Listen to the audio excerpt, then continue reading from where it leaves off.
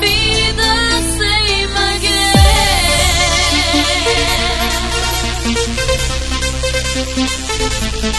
Thank you.